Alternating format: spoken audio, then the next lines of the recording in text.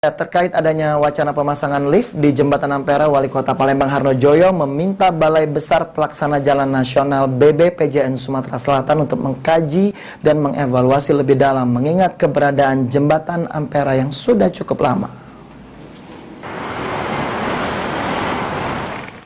Pemerintah melalui Balai Besar Pelaksana Jalan Nasional BBPJN Sumatera Selatan rencananya akan memasang lift di Jembatan Ampera untuk menambah daya tarik Ampera untuk pariwisata.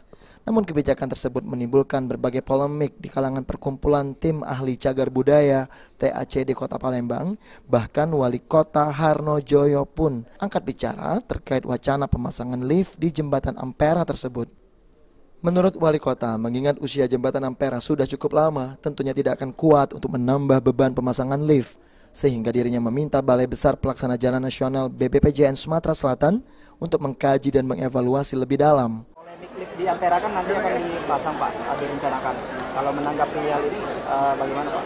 Sudah cukup lama pemerintah kota dalam hal ini untuk memaksimalkan keberadaan dua tuar jembatan ya sebagai tempat kuliner bahkan destinasi baru.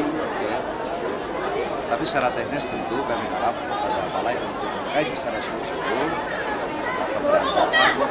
jembatan Ampera itu sudah cukup lama dari tahun 60 dan sekarang. Okay. Jadi dalam hal ini evaluasinya penting sekali. Ya, iya sangat penting karena itu menjadi. Okay. Selain itu, pemerintah kota Palembang terus berupaya memaksimalkan keberadaan dua tower jembatan Ampera. Abidin Riwanto, PAL TV.